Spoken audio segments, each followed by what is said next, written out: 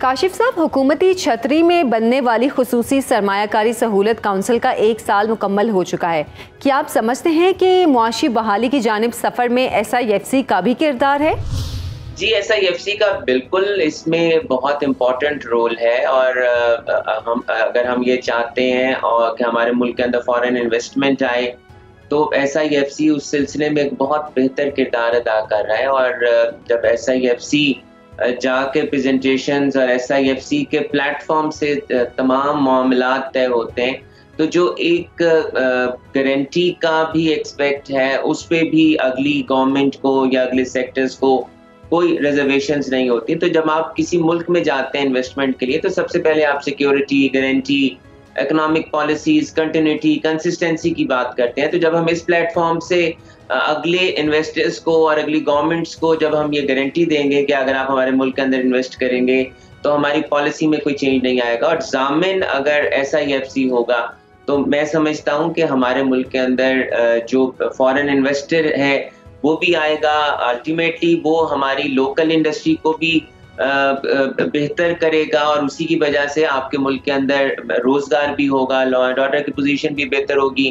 اور اگر یہاں پر ہم ایگریکلچر سیکٹر میں بھی جو کہہ رہے ہیں کہ ہماری government S I F C اور ہمارے دوست ممالک ایگریکلچر میں آ کے کام کرنا چاہ رہے ہیں، تو پاکستان کا کیونکہ دار و مدار ہی ہماری زراعت کے اوپر ہے اور ہم اگر اپنی زراعت کو امپروو کر لیں گے تو ہمارے بہت سے ایشوز ریزالو ہو جائیں گے۔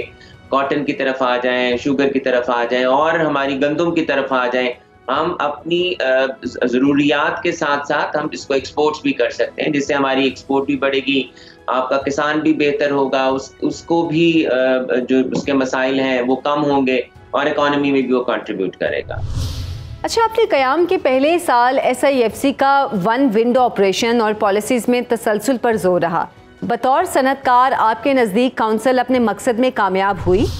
دیکھیں، سب سے بڑی بات ہے کہ جس طرح ایس آئی ایف سی اپنا رول فورن انویسٹرز کے ساتھ ادا کر رہا ہے آئی ٹی کے شعبے میں ایس آئی ایف سی ایک بہت بڑا رول ادا کر رہی ہے، جس سے ہماری آئی ٹی کی ایکسپورٹس میں فری لینسنگ میں ایک بہت اچھا ہمیں دیکھنے کو آیا ہے کہ اس میں بہت اچھا پازیٹیو امپیکٹ آیا ہے، ہماری ایکسپورٹس بڑی ہیں آئی ٹی کی بھی۔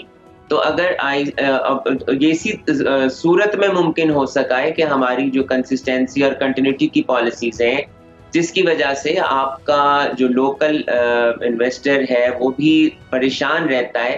تو اگر ہم اس بات کو مد نظر رکھیں کہ اگر یہی policies S I F C کی نہ صرف ہمارے فورن انویسٹرز کے لیے رہیں ہماری یہ پالیسیز ہمارے لوکل انویسٹرز کے لیے بھی رہیں گی۔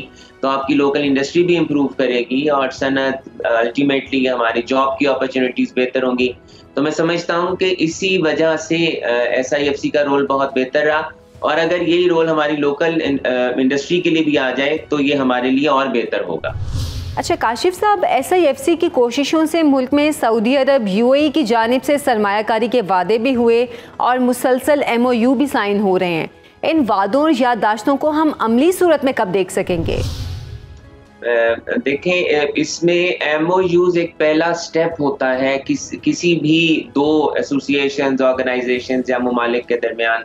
کہ ہم آپ کے ملک کے اندر انویسٹمنٹ کریں گے اور ہم آپ کو آگے لے کے چلیں گے۔ تو پہل بہت اچھی ہوئی ہے۔ دوسرے ممالک آپ کے ملک کے اندر انویسٹمنٹ کرنے کو انہوں نے آمادگی ظاہر کی ہے۔ لیکن یہ بہت ضروری ہے کہ ہمیں ایسا یہاں پر فیسیلیٹیشن دینا ہوگا۔ امپریشن امیج بہت ضروری ہے۔ جب تک ہم اس کو اور امپروو نہیں کریں گے تاکہ ہم باقی ممالک کو بھی لا سکیں۔ بالکل اس میں کوئی دو رائے نہیں ہے کہ جتنے ہمارے اسلامی ممالک ہیں اور chief of the army staff نے بھی یہ کہا کہ پچیس پچیس بلین ڈالرز کی وہ انویسٹمنٹ کرنے کے لیے جا رہے ہیں ہمارے ملک کے اندر۔ تو اگر انہوں نے وعدے کیے ہیں ایم او یو ہوئے ہیں، تو میں امید کرتا ہوں کہ بہت جلد وہ وقت بھی آئے گا جب یہ انویسٹمنٹس ہمارے ملک کے اندر مختلف شعبوں میں، جس طرح کے پانچ شعبوں کی بات ہو رہی ہے کہ پانچ شعبوں میں یہ ممالک ہمارے ملک کے اندر انویسٹمنٹ کریں گے تو امید ہے کہ بہت جلد یہ انویسٹمنٹ آئے گی اور بہت جلد پاکستان کے جو حالات ہیں وہ بہتری کی طرف جائیں گے۔ اچھا آپ کیا سمجھتے ہیں کہ ایک سال کے دوران ایس آئی ایف سی سرمایہ کاروں کا اعتماد بحال کرنے میں کامیاب ہوئی ہے؟ دیکھیں اس کا پازیٹیو امیج بہت ہے۔ جس طرح سے اگر ایک باڈی ایسی ہو جو تمام آپ کے ملک کے محکموں کے اوپر ہو، جس طرح سے ایس آئی ایف سی ہے، اور اس میں تمام سیکٹرز کے لوگ ہیں، تمام منسٹریز ہیں پرائم منسٹر صاحب بھی بیٹھتے ہیں، ہمارے chief of the army staff بھی بیٹھتے ہیں۔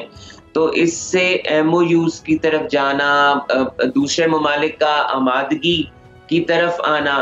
تو الٹیمیٹلی جب آمادگی کی، آمادگی ہوئی ہے اور اس کے بعد جب ایم او یو سائن ہوئے ہیں تو ضرور ہمارے ملک کے اندر انویسٹمنٹ بھی آئے گی اور یہی وجہ ہے کہ ہمارے ایگریمنٹس بڑھتے جا رہے ہیں اور امید کرتے ہیں کہ یہ ممالک جو ہیں وہ جلد از جلد ہمارے ملک کے آ کر اندر آ کر انویسٹمنٹ کریں۔